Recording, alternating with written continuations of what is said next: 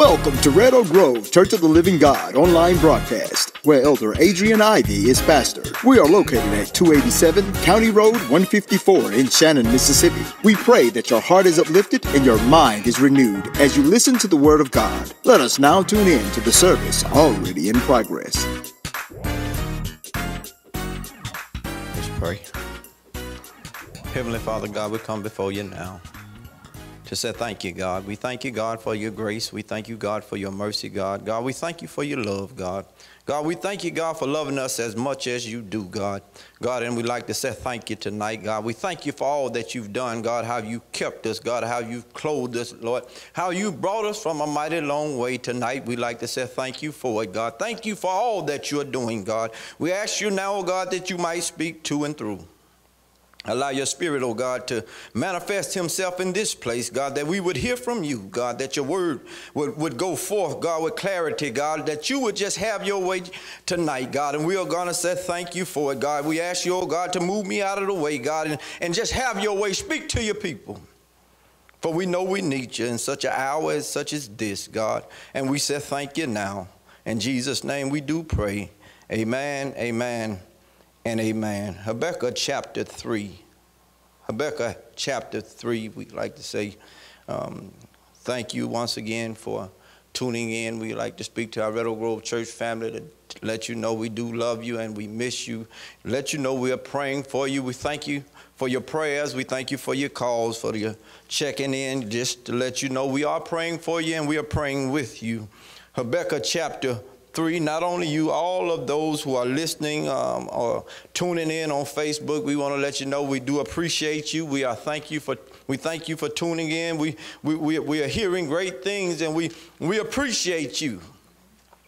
Just like for you to know that we we, we, we, we, we continue to uh, ask you for your prayers and we continue to pray for you in the midst of this uh, in the midst of these trying times. Habakkuk chapter 3 I want to read a couple of verses. Uh, Habakkuk chapter 3, beginning at verse 17. And it reads, Although the fig tree shall not blossom, neither shall fruit be in the vine, the labor of the olive shall fail, and the fields shall yield no meat. The flock shall be cut off from the fold, and there shall be no herd in the stalls. Yet I will rejoice in the Lord. I will joy in the God of my salvation. 19. The Lord God is my strength, and he'll make my feet like hinds' feet, and he'll make me to walk among, upon my high places to the chief singer on my string instruments. Habakkuk chapter 3, I would like to talk for a few minutes from this thought. Even in the midst of tough times, I still have a praise. Have to be honest with all of you who are listening. 2020 has been one of the most challenging years of our time. We're facing an enemy every day we can't, we can't see. The possibility of us uh, being infected by it is high every day 2,168 cases of COVID 19 just today and 28 new deaths. On top of all that, we still have our issues at home. Husbands are doing all they know how to do and seem like the doing ain't enough. Wives are, are walking their feet. Mm in the ground and their feet are hurting, and it seems as if that is isn't enough. Children are, are, are going crazy over the uh, uh, uh, virtual schooling that they, they have to do, and they don't seem to get it. Bills are still piling up. Bank account is getting low or on zero, and on top of all that, we're living in a world that has a leader who's rebellious, arrogant, and narcissistic. And to go with that, he has followers who, who, who refuse to stand up for what's right, who refuse to stand up for justice, who refuse uh, to just speak the truth to the leader that's in the office. It seems as if people are, are growing colder and, and colder. Seems like the world is waxing worse and worse. Folk want to put other folks down to make themselves feel good. The spirit of pride and, and arrogance seem to be the new norm. When you turn the TV on, folks are killing folks for no reason. Sad part about it—they're getting away with it as it seems, and, and, and, and sometimes you could sit back and wonder or ask yourself, may not say it out loud, but, but, but you would ask yourself, where is God in the midst of, of these tough tough times because, uh, you know, I don't know if you know it or not. I, I, I sometimes sit and wonder uh, to myself or say to myself, we really need God to do something before it's too late. Seems to be the problem that Habakkuk the prophet had in Habakkuk chapter 3. He found himself in a position to where he, he was confused he was, he was, he was confused about what God was doing. Hmm. Wonder, have you ever, ever been there? In the midst of these tough times, we've lost loved ones. We, we, we are the bearers of, of, of, of burdens, and, and, and, and, and oftentimes we wonder what's God what is he? What is he? What is he doing?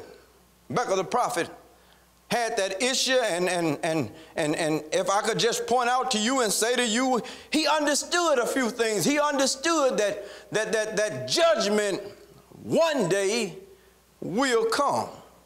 He understood that, but that was not, that wasn't his, his main issue. His main issue was not with, with, with, with the people who were doing wrong. His, his main issue was not with, with, with was, uh, what was coming along in a sense, but his main issue was how could God, being who he was, continue to allow this to go on and seemingly do, do nothing? How? How? But when you get to the third chapter, it would seem as if he was just praising God and, and leaping for joy. When you look at that 18th verse, he said, I, I will rejoice. But the question is, how do you move from a place of worry, fear, and stress to a place of praise? Glad you asked. Habakkuk the prophet uh, lets us know a few things. One thing he does let us know in this text, he said you need to allow prayer to be a priority in your life. When you look at this thing, Habakkuk the prophet, he prays. Not only in the third chapter, but he prays in the first chapter when he cried out to God. He allowed prayer to be a priority. I know when you come to church, that's what you hear all the time. Just pray Pray about it. And Habakkuk the prophet, he, he gives us, or he is a great example of trying to teach us to pray. But notice what his prayer was. He said, Lord, how long will I cry to you? I wonder how do you feel when you pray and you sing to be persistent in your prayer and your prayer don't produce the results that you're looking for. Seems to be Habakkuk the prophet's problem in this text because he, he cried out, he prayed to the Lord. He made prayer his, his priority. Can I stop and tell you, prayer is a good thing. Prayer should be the priority that you and I uh, uh, uh should position ourselves in, not just when times are tough, but we ought to make it a priority in our life. Becca teaches us to let prayer be a priority, but, but, but I like this thing because Habakkuk is real honest. He's, he's, he's, he's not like most church or religious folk. He's, he's real honest because when he prays, he asks God a question. that posed a problem for me because I've been brought up in a tradition to where when you have questions, you don't question God. I'm sure y'all heard that before. You know, you done heard some leader uh, uh, uh, tell you, you know, don't question God, or you don't question God. I had trouble with that because, you know, if if if you don't ask a question, you won't get an answer. And even God Himself asked or said this He said, My people are destroyed for the lack of knowledge. So, how can I know something if I don't ask a question? I went to Habakkuk and I asked Habakkuk, now, now, now, I've been traditioned this way, and Habakkuk said to me, he said, now, now tell me if God say uh, his people are destroyed for the lack of knowledge, how you going to deal with that? He said, tell me how you're going to deal with ask, and it shall be given. He, he said, How are you going to deal with, with, with, with, passages in the Bible if you don't ask God a question? How are you going to deal with when the disciples asked Jesus a question? How are you going to deal with it? I said, The best way that I, uh, the folks that, that, that, that, taught me, the best way that um, they dealt with it is just to say, Don't question God. So now I need some help in this matter because a lot of people are hurting. A lot of people are going through some hard things in their life, and they've been traditioned to say, I don't question God. Need some help with this thing, but he said, he said, it's not in questioning him, it's the attitude that you use when you ask a question. He said, You can't go to God and question God's deity of who He is. He's God. And beside Him, there is no other. So now I, I, have to understand something. You got to go to Him the right way. Can I help somebody? You can ask God questions because if you don't, you won't ever get an answer to your question. So it is now, Habakkuk the prophet, he helps me out because he, he tells me, you can ask God a question. So now, this is what he do. He makes prayer a priority and he prays to God and he asks God, God, how long shall I cry unto you? How long, Lord, are you going to allow all of this injustice to go on? How long, Lord, are you going to allow me to go through these tough times? He said, How long? He cries out to God. He prays to God. I have to uh, you, uh, uh, make you aware of some things when you pray. When you do pray, God may not answer you the way that you expect. He may not answer you the way that you expect what's going on in the text. Uh, this is what's going on in the text. Babylon was about to come in and take uh, Judah captive. Habakkuk the prophet was looking at what uh, the nation of Judah was doing. Of Judah, looking at what they had going on, they had all kind of violence going on. They had all kind of lawlessness going on. They had all kind of evil going on. And so Habakkuk prays to God, and he wanted God to do something about it based on who he was. And so he prays and he asks God a question How long? He, how long, Lord, are you going to allow this injustice to go on? Habakkuk to me seems to, uh, uh, uh, uh, to not understand God in this situation. What do you mean? Preacher, seemed like to me Habakkuk was wanting God to do something about his people. And God say, Habakkuk, I hear your prayer. I tell y'all something. Many times when you pray, God say, I hear. I hear when you when you pray. I'm not deaf. I can hear exactly what you're trying to say to me. God is trying to tell us, you know, I hear you. But you know, a lot of us mistake God's silence for inactivity. A lot of us uh, uh, mistake God's silence for inactivity. Habakkuk must have been the same way because he cried out to God, and it seems to him as if God wasn't doing anything. And Habakkuk, uh, uh, uh, uh I mean, and, and God answered Habakkuk. Can I tell y'all something? In the midst of tough times, when you pray to God, God, He may not answer you the way that you want. Your situation may get worse. Woo. Your situation may get worse. How do you know? I asked Habakkuk, what did God say to you? He said, the Babylonians are going to come. Oh, and when he said that, it seems to me Habakkuk, he had to take a seat because he couldn't understand why God would use a nation like Babylon to chastise his people. Let me say this.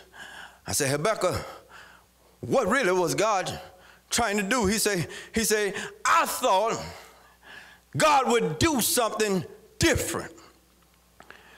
The lesson that you and I need to learn is we need to uh, trust God in the midst of this situation. He said, because one thing about God, God, his thoughts are higher than our thoughts. His ways are not our ways. For Habakkuk, he said, Now, God, now you're going to allow this nation to come in, and this nation could possibly destroy. God said, No, no, no, no. I'm going to allow this thing to happen, but I'm not going to destroy my people. I'm going to deliver my people. I'm not going to crush my people. I'm going to correct my people. Ah. I wonder if you're going through this tough time for correction. I wonder if we're going through this tough time for deliverance. I wonder if God is using the tough situations that we're going through to deliver us, to correct us. Uh, somebody need to know God is doing this thing not to kill us, but to correct us. I know we're in 2020 and, and, and, and, and many of us, you know, we, we, we really don't uh, discipline our children like, like our parents really discipline us. You know, it's a little different now. You can't really discipline your, your child today in 2020 from the world standpoint. If you whoop your child, that's abuse. But God teaches us He chastens those that He loves.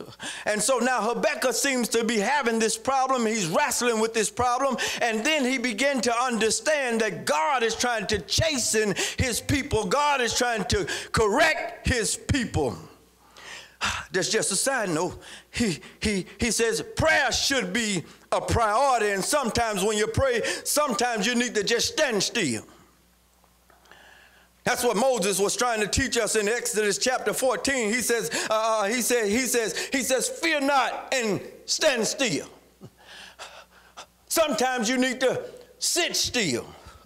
That's what Ruth teaches us in Ruth 3:18, and, and she said, uh, sit still until uh, uh, uh, the king, until thou know how God shall handle the matter. Psalms 46 and 10 uh, teaches us uh, we should be still.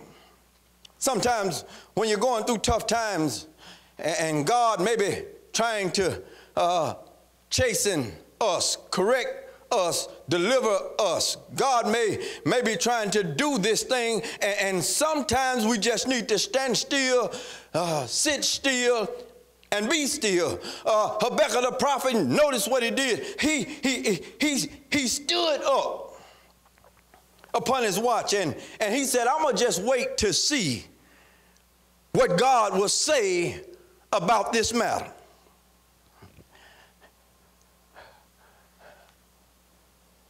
So Habakkuk had a problem because a lot of time my biggest problem is, is waiting.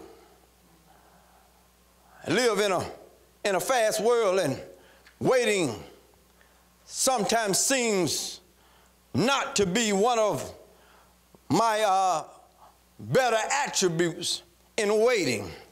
He says one thing about waiting, you have to know who you're waiting on. Sometimes when you and I are waiting, we're waiting for one of us to do something. But Habakkuk the prophet, he teaches us when you pray, you need to wait upon the Lord. He waited. He got upon his watch and he he he he waited. He he waited to see what God was going to do. Can I tell you? It's okay to just wait. Waiting carries the idea of just trusting God and allowing God to work out the situation. Went to Habakkuk and I said, Habakkuk, now you got to help us understand this thing. He said, Notice what's going on in the text. I'm complaining and crying to God because I wanted God to do something. And God says, Well, I am doing something. He says, Now I'm going to correct my people and I'm going to use Babylon to correct them. Habakkuk said, Hold on, God. I wonder why you would use somebody more wicked than your people to correct your people. He said, I need for you to wait on me. And then in chapter 2, you'll look at that thing he said, I need to teach you a lesson, a very valuable lesson while you're going through tough times. He said, My people shall live by faith. Me fast forward, I'm gonna get out your way in just a minute. He said, He said, My people shall live by faith. Text say, title say, title say, uh, uh, uh, the title say, in the midst of tough times, I still have a praise. The just shall live by faith. Man, how can I praise God in the midst of all these problems that I'm going through? Some folks have lost loved ones. Some folks, they ain't got no money. Some folks, they're barely making ends meet. Some folks, are being talked about and ridiculed. Some folks don't know they left from their right. Some folks just ready to throw their hands up and holler. Tell me how can I praise? Habakkuk say, he said, this is how you can, can praise the Lord. He said, praise is not predicated on your predicament. Say it one more time, preacher.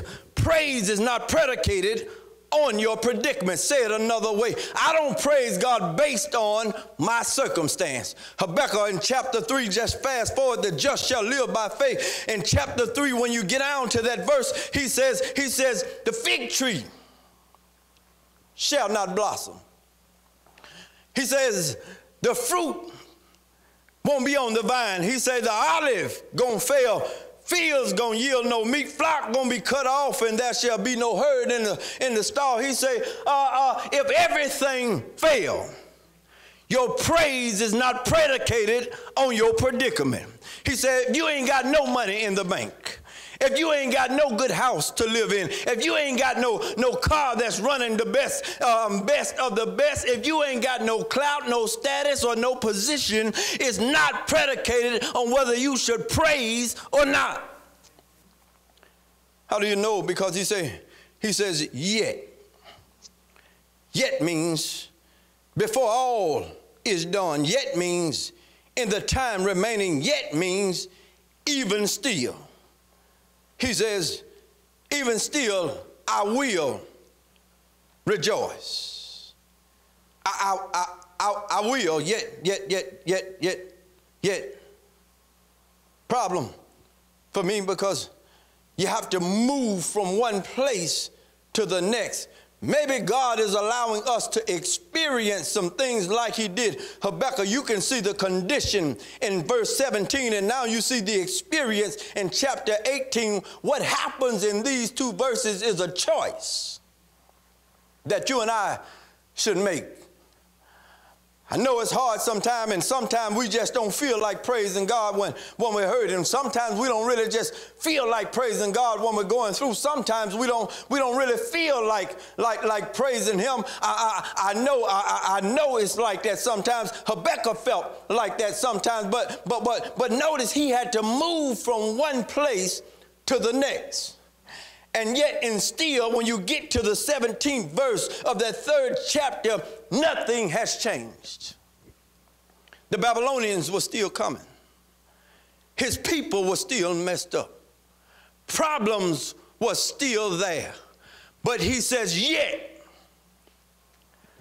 He says, before all of that's done, he says, in the time remaining, he says, even still, what are you trying to say? Habakkuk said, in the midst of all of this, I really don't understand what God is doing, but I'll rejoice. I really don't understand why he's doing what he's doing, but I'll, I'll rejoice. I, I, I, I really don't understand what he's doing, but in the midst of all of this, I will rejoice. Make it plain, Mr. Preacher Man. He said, if I ain't got no money in the bank, I'ma rejoice. If I ain't, if, if the doctor give me a bad report, I'm still gonna rejoice. If if they talk about me, uh, I'm gonna rejoice. Even in the midst of my bad situations, trying to do the right thing, I'm still gonna rejoice. But the question becomes, how? How can you rejoice? Number one, for most of us, we're looking at everything around us.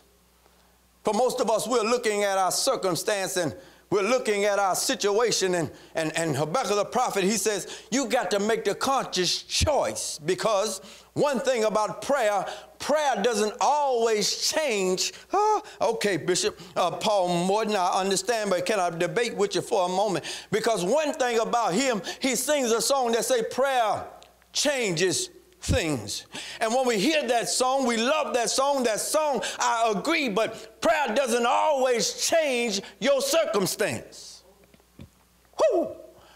That messed a lot of us up because that's the idea that most of us get that when we pray, it changes our circumstance. Now, Habakkuk the prophet, I had a problem with that song, and I went to Habakkuk and I said, Habakkuk, now I said, I said that song is a wonderful song. He said that song is true. But it ain't always necessarily so. He said, because I've been in a position to where I've prayed and my circumstance didn't change. So I asked the question, I said, what did change? He said, I changed. So prayer don't always change your condition or your circumstance, but it can change your character and your choice. When you pray, God has a tendency to allow you to go through some things just to change not your circumstance, but to change you. When you're going through a hard time, how can I praise? Yet I will.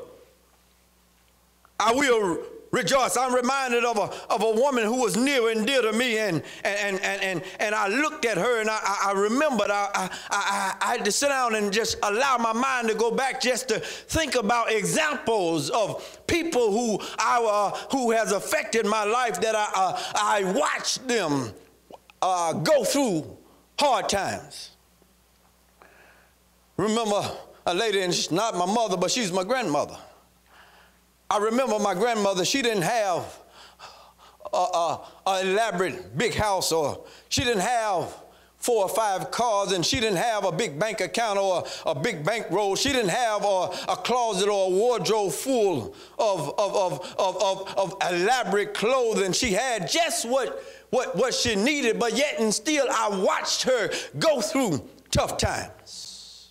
I, I watched her go through hard times. I watched her go through times where her body was racking with pain. I watched her go through times where her bank account was low. I watched her go through times where folks would talk about her. I watched her go through uh, folks mistreating her. I watched her go through tough times. And yet, I still watched her rejoice and joy in God. And my mind had to go back and I had to ask questions that I didn't understand then, but I understand now.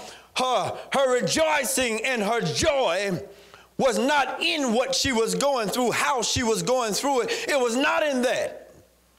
But her joy was in the Lord. Her, her rejoicing was uh, in knowing the fact that she served a God who, who, who was bigger than that. She served a God who was bigger than her sickness, bigger than her financial issues, bigger than the folk who were talking about her, and somehow, some way, she still managed to rejoice. In fact, I think somebody need uh, to take that spirit of my grandmother and, and praise God, not based on what you're going through, but based on who He is. Because He is God and God all by Himself. He is the creator of all mankind because He is. He is God. He, he, he's the one that you can go through that will deliver you in the midst of your trouble. He is the one that, that, that can hold you up when, when you want to fall down. He is the one that, that, that knows everything. He, he knows exactly what he's doing, how he is doing it. He knows why he is doing what he do, and he know, knows what everything. He knows. He, he, can I just say it like that? He knows. He knows Habakkuk the prophet he must have understood this thing because he found himself rejoicing. Rejoicing in the text means he started leaping for joy. How could you leap for joy? And you say there ain't no money in the, the account. How could you leap for joy? He said, because I'm, I'm joying and I'm leaping because I know God.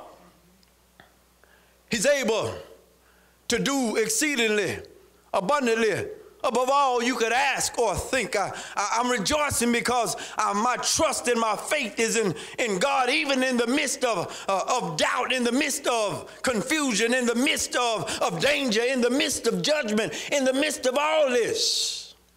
He says, I will rejoice and I'll joy in the God of my salvation, in the God of my deliverance. He says, he says, now uh, uh, I need for you just to praise him in the midst of your predicament. He says, you got to make the choice yourself to praise God. Even in the midst of tough, tough times, he says, yet I, I will praise him. But not only that, notice uh, you see the problem, you see you see uh, uh, the problem, and then you uh, you look at the praise and notice the provision. The Lord God is yes, sir. That's it, and I'm through with y'all. Uh, the Lord God is my strength. That's what uh, my grandmother believed in. She understood God was the strength of her life. She, she understood that God was able to, to, to, to, to take her from, from one level to the next. She understood God will would do some things. Uh, how do you know? Because her favorite song uh, that she used to sing, she says, uh, uh um, uh, dark clouds may rise, stormy winds may blow. Uh, yeah. But I, have found a Savior, and He's sweet. I know He's sweet enough to take me through all the dangers that I'm going through. He's sweet enough to walk with me in a hospital when they diagnose me with any kind of disease, he's sweet enough to hold my hand when I'm weak. He's sweet enough to lift me up when I'm when I'm down. He's he's sweet enough. And Habakkuk the prophet, when I think about him, he writes in the 19th verse, he said, "The provision is of the Lord because the Lord God is." My strength. He'll make my feet like hinds feet. Can you pause right there for a moment and let me explain this thing about hinds feet? Hinds feet, he talks about a deer. And the deer was a female deer, and, and the female deer would, would, would run up the mountain. And, and when they run up the mountain, they were on dangerous ground. But, but one thing about that, that hind or that doe or that deer, they had their feet planted solid and firm. One foot would go in front of the other. They would never slip. They would never stumble. They never go left or they never go right. They would walk one foot in front of the other. Habakkuk the prophet was trying to teach us one thing. He says, God is my strength. He says, God is the source of my life. God give me just what I need so my feet don't slip. God, give me just what I need. Uh, so, so he give me just what I need so my feet don't slip, that I don't fall uh, by the way. My grandmother understood this. How can I praise in the midst of tough times? Notice the provision that you have. The Lord is. done. The Lord is my strength. Your challenge and my challenge is, is to make sure the Lord is my strength because when God is my strength, I'm strong even in weakness. When God is my strength, it's not that I have the strength, it is God becomes my strength. When God is my strength, I can run and not be weary. When God is my strength, I can walk and not faint. When God is my strength, I can praise in the midst of a pandemic. In the midst of your problem, in the midst of your situation, in the midst of all that you're going through, number one, you got to understand that prayer must be a priority. Number two, you got to realize that you don't praise based on your predicament. Prayer is not based on your predicament. Prayer is based on the God that you serve. Last thing you got to understand is God will provide for you. God will provide for you. I said, God will provide for you. Somebody need to get that God will. Somebody ready to pull their hair out their head, but, but you got to know God will provide for you. For Habakkuk the prophet, God provided an answer. May not be the answer that he necessarily wanted, but he made the resolve. God, if don't nothing good happen, if my circumstance don't change, I'll praise you because you're God. And God say, if you can just praise me and trust me, he says, I'm working this thing out because I love you too much to leave you like you are.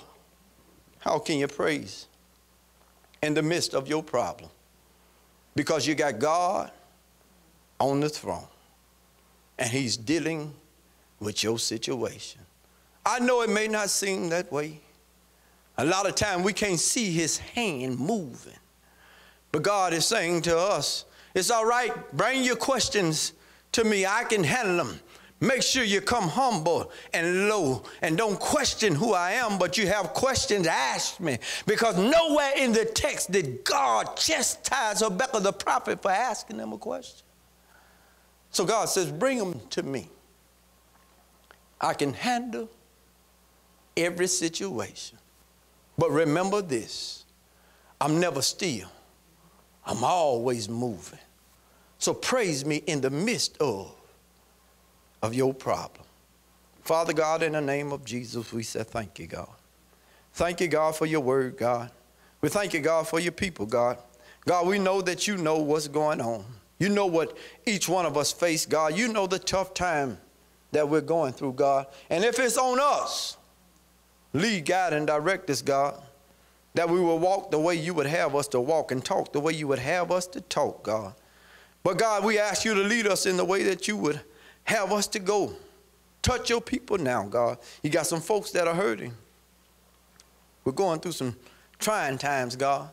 And some of us, we don't even know, God. We're wondering what's going on. But yet tonight, we're going to make a resolve, God. We're going to praise you in the midst of this predicament. We're going to give you glory, God, because we know you're able, God. You're able to either carry us through or you're able to keep us as we go through, God. So we're asking you to keep your people and carry your people and comfort them on their way out, God. And we'll just praise you and say thank you because you are God and God all by yourself, God. We pray, oh God, for each and every one that, that is, that's listening, God, for you know the issue. You know the problem, God. We ask you to deal with it. Deal with it that they may give you a praise, that they may have a testimony. I went to God in prayer and God handled that thing. So have your way, God. We say thank you and we love you.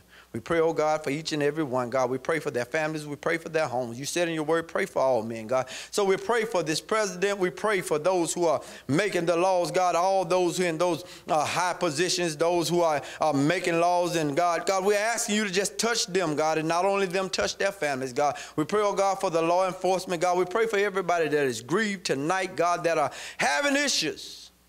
But praying, oh God, that you would meet needs, God. Give us the right word to speak when they cross our path, God. And not only them, God, we pray for your people now. Bless us and keep in comfort. We say thank you and we love you. In Jesus' name we do pray. Amen, amen, amen. You for joining us today at Red Oak Grove Church of the Living God. I pray on today that this encouraging message sinks into your heart and dwell in your life as this week comes and goes. Join us next week for our service starting at 11:30 a.m. Thank you for listening. We will see you next time. Through Givelify, you can sow a seed. Just download the free, simple, and secure Givelify app on any Apple or Android device and type Red Oak Grove Holiness Church as place of worship. Then tap Give to sow your seed. While on our giving page, you will have the option to create a profile, which will give you the ability to log in at any time to view your prior online donations or to make changes to any recurring gifts you may have scheduled. Like us on Facebook.com 2013 Red Oak Grove Church and don't forget to subscribe to our new YouTube page by searching for Red Oak Grove COLG. Thank you and be blessed. Give today with Givelify.